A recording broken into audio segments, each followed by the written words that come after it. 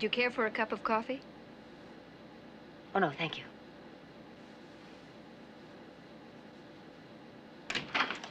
Mrs. Columbo, thank you for coming. Would you come in, please?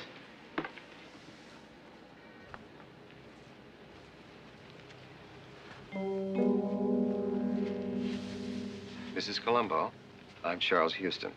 I'm happy you could join us. Would you care to sit down? Mrs. Columbo?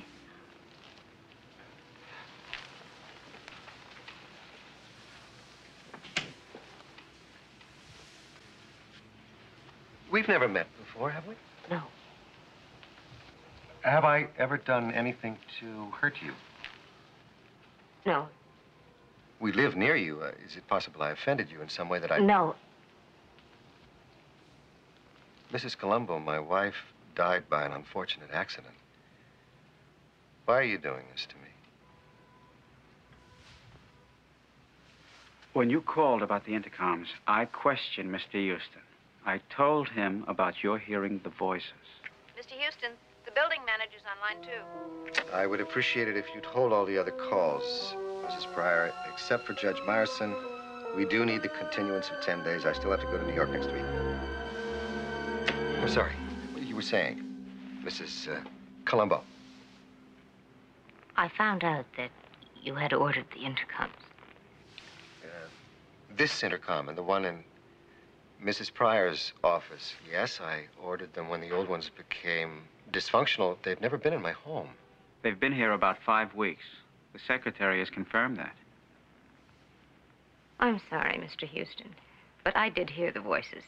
Who is this uh, Martin person? The husband knew that Martin was going to kill his wife. He didn't want her to suffer. And you're hypothesizing from that that I uh, had my wife murdered. Well, it, it couldn't have been you, Mr. Houston. There weren't any intercoms. Sergeant, have there been any other recent deaths in our neighborhood? No, sir. None. Mrs. Columbo, uh, your name is not uh, totally unfamiliar to me. I think I've read it. Haven't I? Uh, what they call a, a byline in that throwaway newspaper that we get. I work for the paper. That has nothing to do with what I heard. Working news ladies whom I've met tend to exercise a strong, creative imagination. I think it has something to do with an understandable, excessive ambition, what's usually thought of as a man's profession. Well, I'll try to confine my ambition to reviewing the PTA show. For now, I have an appointment with my dog's doctor, which is probably just as well because I've embarrassed myself enough for one day, haven't I?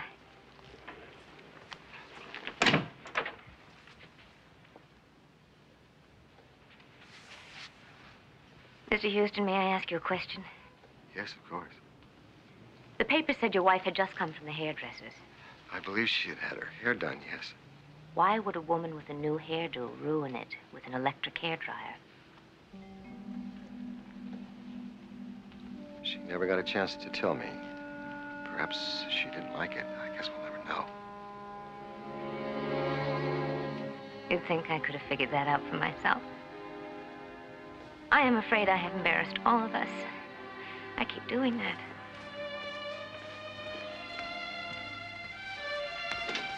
Mrs. Columbo, if your husband had been in my position, I'm sure he would have done the same thing. I'm sure of it.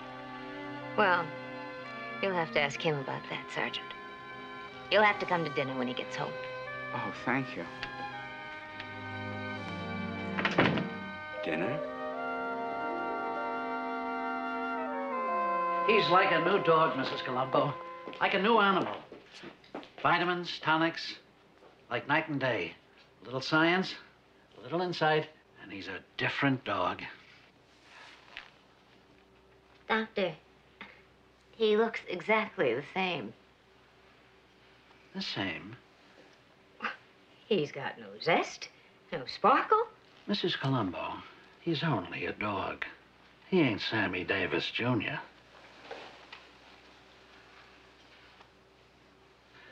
My assistant will have your bill.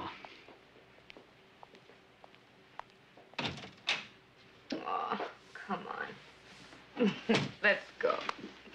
Maybe you ain't Sammy Davis Jr. To me, you look like a philosopher. Oh, God.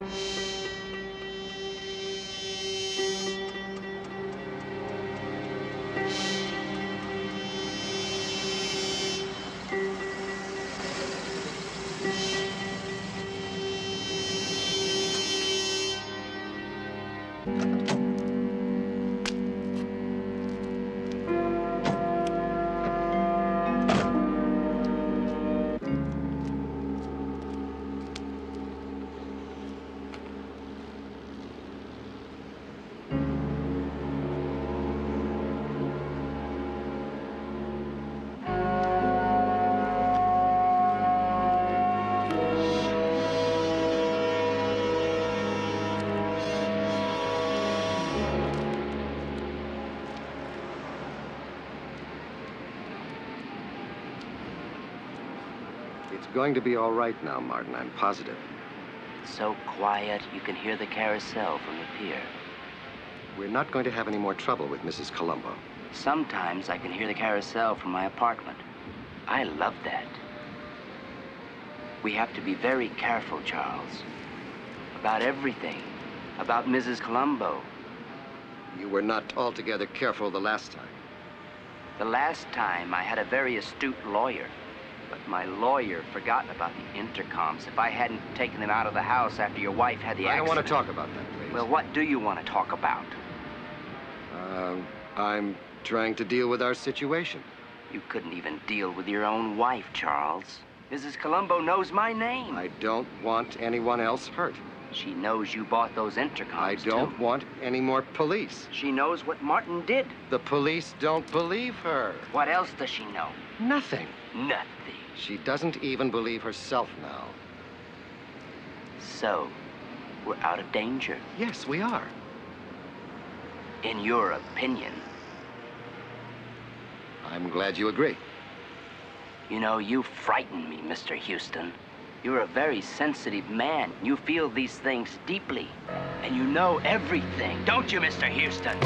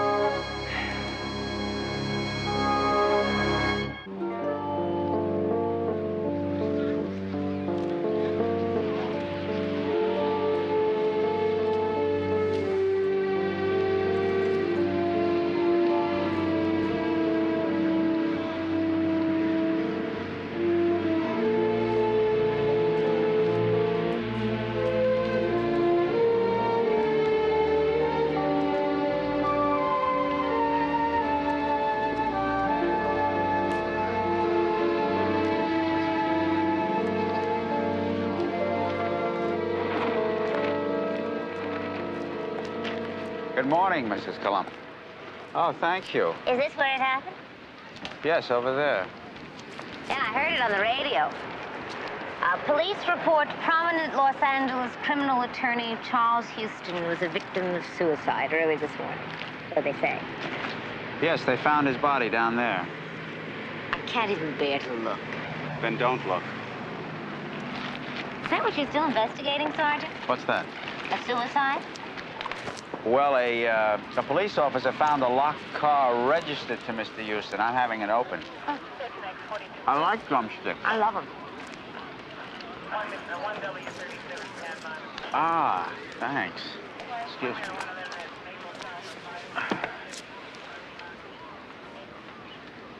Any clues? No, no clues. And no suicide note, huh? No, there's no suicide note. I don't see any yet. Well? Map. It wasn't suicide, you know. Mrs. Columbo. Charles Houston wanted a judge to give him a continuance for 10 days so he could go to New York. People who want things like that aren't contemplating suicide, Sergeant. That's absurd.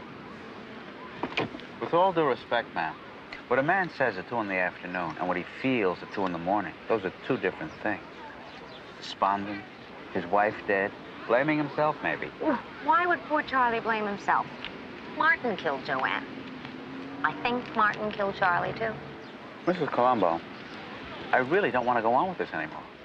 Oh, but I think you have to, Sergeant. Why do I have to? Because you have to figure out why a man who was going to throw himself over a cliff went to the trouble of locking his car.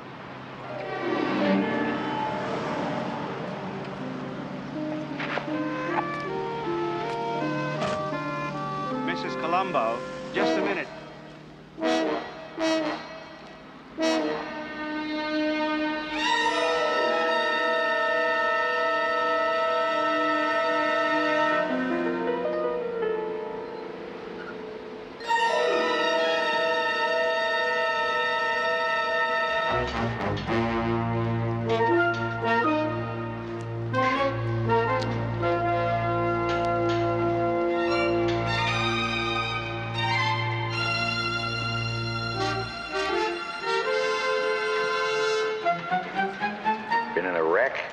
Husband drives it. He's away, and I really wanted to surprise him. Is your surprise easy? How much? Full tune-up, new top, new upholstery. Ugh. What happened to the upholstery? The dog ate it. Fix all dents? And a new side mirror. Paint job, re-chrome. Call it $5,000. Five thousand dollars. We'll throw in a free side mirror. I can't afford anything like five thousand dollars. What if we didn't do the upholstery? Omit upholstery. Cut out $300. Okay, now you're talking. That's very reasonable. I'll just take the upholstery for three hundred bucks. Lady, you want the upholstery alone, you don't get the volume discount. The upholstery by itself is $950. Oh well, now that's very expensive, isn't it? Ma'am, you drive a foreign car, everything's expensive. You tell me what it is you want to cut out. Well, the tune-up. What do you think? I guess we could live without that. And the top. Well, doesn't look that bad, does it? That leaves bodywork, paint, and chrome. Which one do you want? I think I'll just take the free mirror.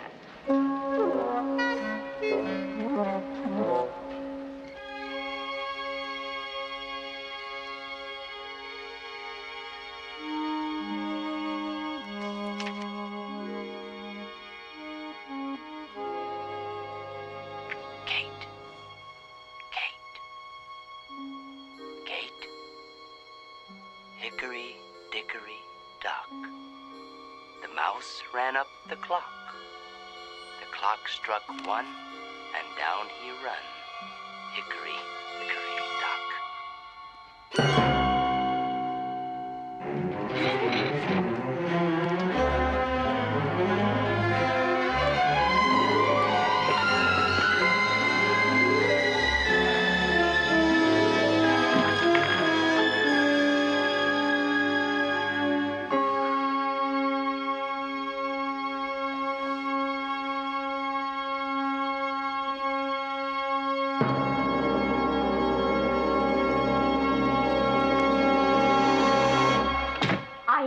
he was registered at your hotel with the police convention.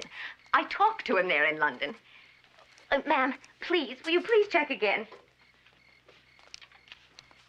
Two hours ago. Well, why did he go on to New York? I don't. Ma'am, ma'am, please listen to me. Did he? Did he tell you where he would be staying? Do you know the other policeman's name? No, no, no. I'm sorry, no. I'm sure he'll be calling. Thank you.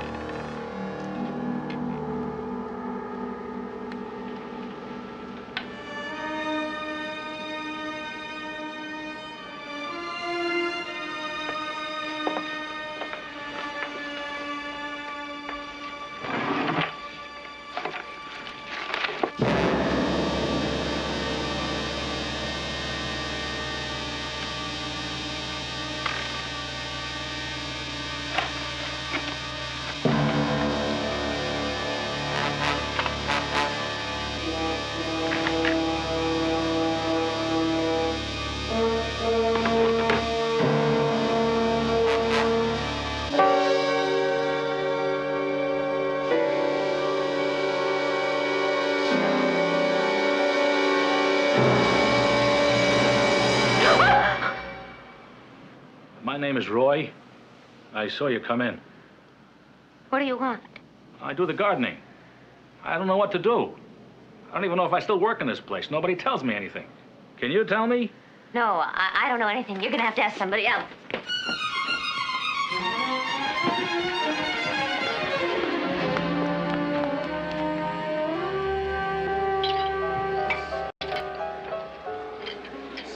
I just don't know what to do. I know. His garden said the same thing. If Mr. Houston had a partner, or even if his wife were still alive, there'd be somebody to tell me to close up the office or what to do with the files. How long have you worked for Mr. Houston? Eleven years. Now it's like I'm waiting for somebody to tell me, go home, Mrs. Pryor, it's all over. Only there's nobody to say it.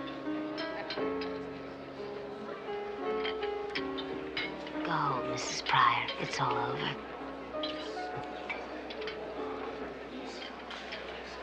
Ooh la la.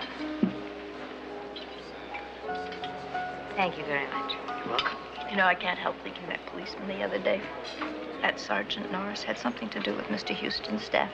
Why would you think that? The salads here are terrific. It all started with new intercoms. Mr. Houston brought them. Said something about a mix-up with the police, something some silly woman was saying about how his wife died. Eat. He brought the intercoms after Mrs. Houston's accident? Yes, but he asked me to tell the police we'd had them for weeks. You, you won't tell them I lied. If I liked somebody that much, I'd lie too.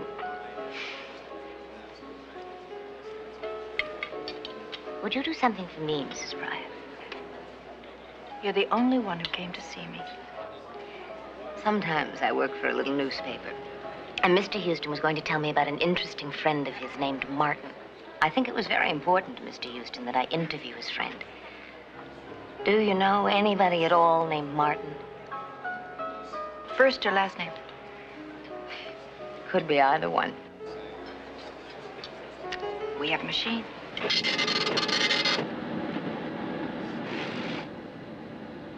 Anything? No last name Martins in the personals. There's a Martin Reeves, Mr. Houston's florist. No, I don't think so. How far back do these clients go? Five years. Martin Elizabeth, Martin Reeves, Martin Kenneth. Kenneth Martin?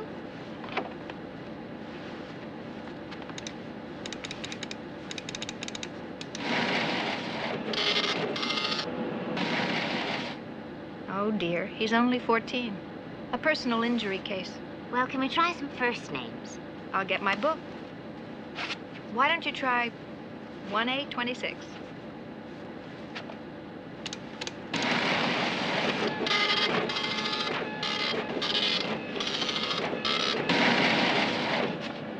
Martin Bader, 1401 Ocean Avenue. Such a nice, polite man. I knew he couldn't have done it. Not guilty 1A. 1A. What's that? Murder. Mr. Houston defended him last month. He would. Excuse me. What, is something wrong? In 11 years, I never got the billings mixed up. We had to buy this computer marvel. May I? Certainly. It didn't send Martin Bader a bill.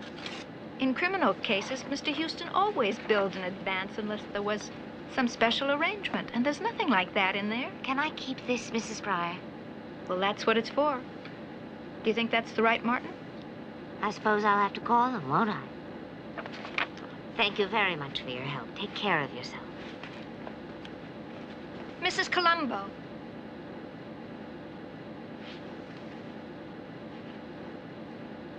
Could we have lunch together again sometime? Oh, yes. I'd like that very much.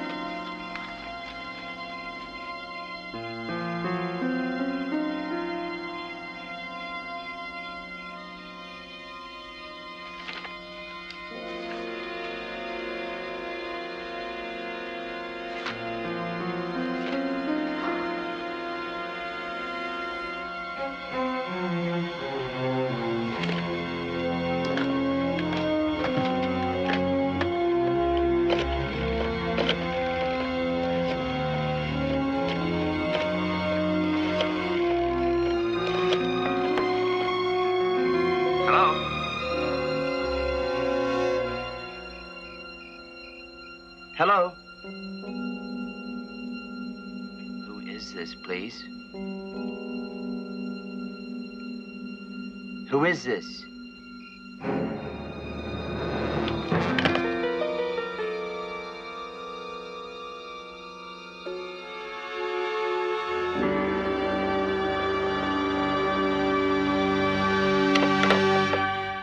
care if the detective bureau closes at 4.30. I have to talk to Sergeant Norris.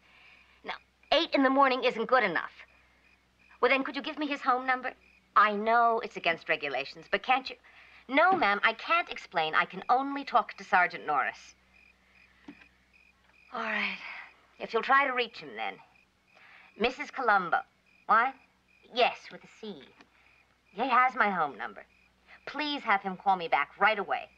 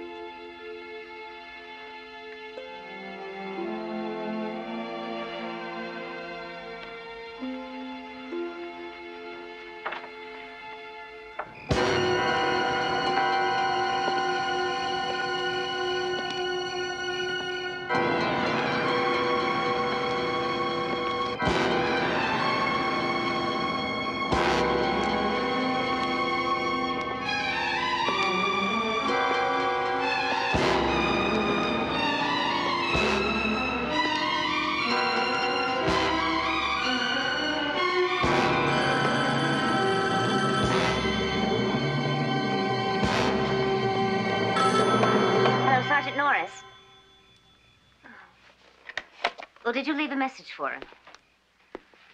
Would you please keep trying? Yes, yes, I'll be here. I'll wait for his call. Thank you very much.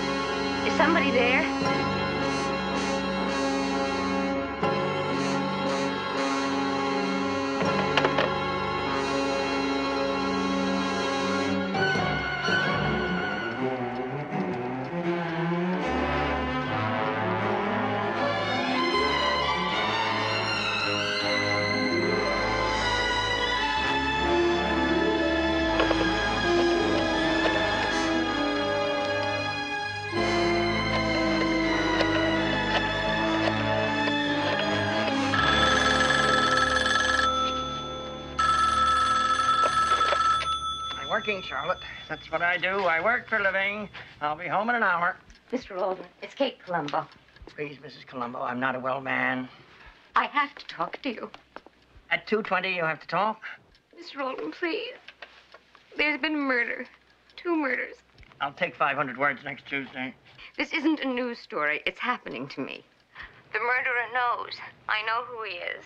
And I am all alone in the house with my daughter. Now, you listen to me. You get your daughter and you put her in your car and you bring her here to me. Now, both of you. You understand that? Now. Yes, yes, all right.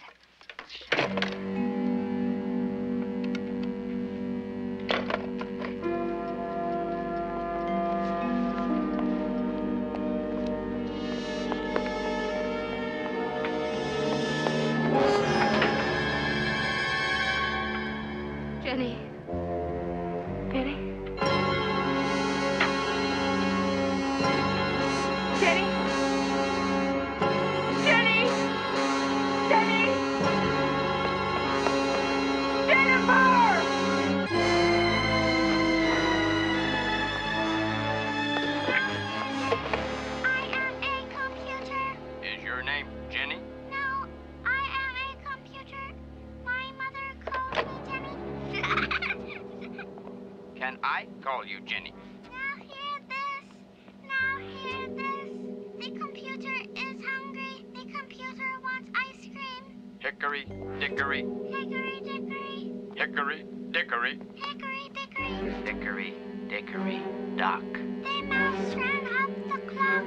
Clock struck one. Hickory, dock. Where's mommy, Jenny? Where's mommy? is mommy a computer? Is she going to come to us? Do you think she'll find us, Jenny? Over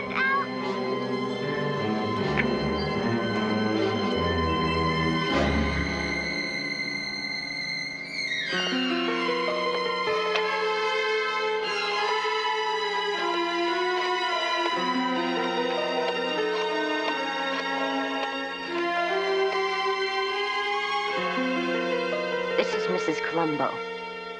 I have been trying to reach Sergeant Norris.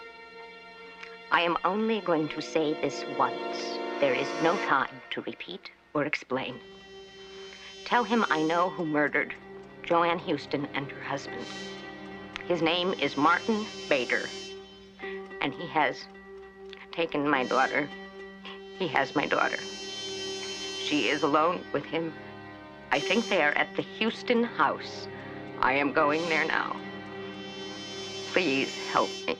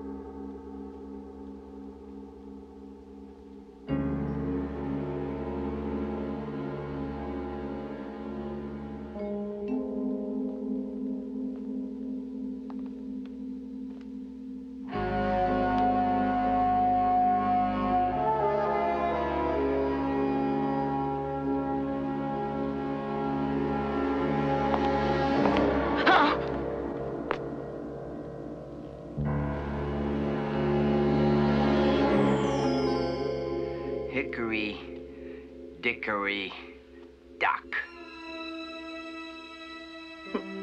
Martin. Now hear this. I am a computer. Is your name Jenny? I've been listening to your house, Mrs. Columbo. Jenny isn't here. She never was.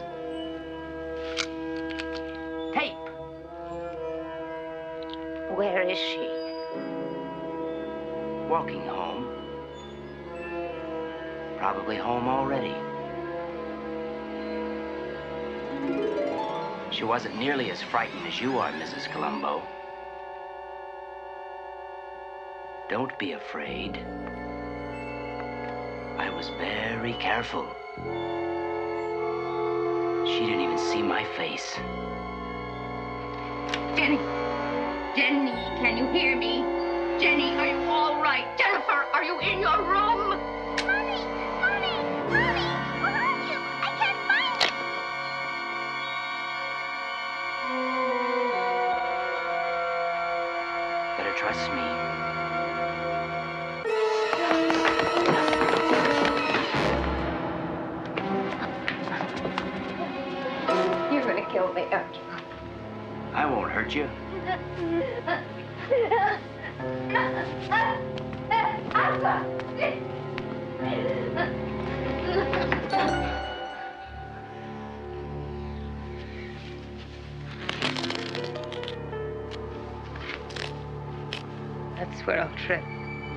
Playing detective heard murders where there weren't any.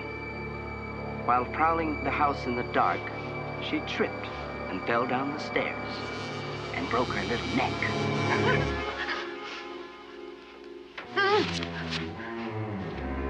Gas. Gas. Why? Tell me. In the kitchen, when I heard Jenny's voice, I thought the gas might make an explosion, drive you out, bring the police fast. I don't know. I didn't have anything else. A house full of gas, Martin. A lady with a broken neck. They'll try to make the pieces fit.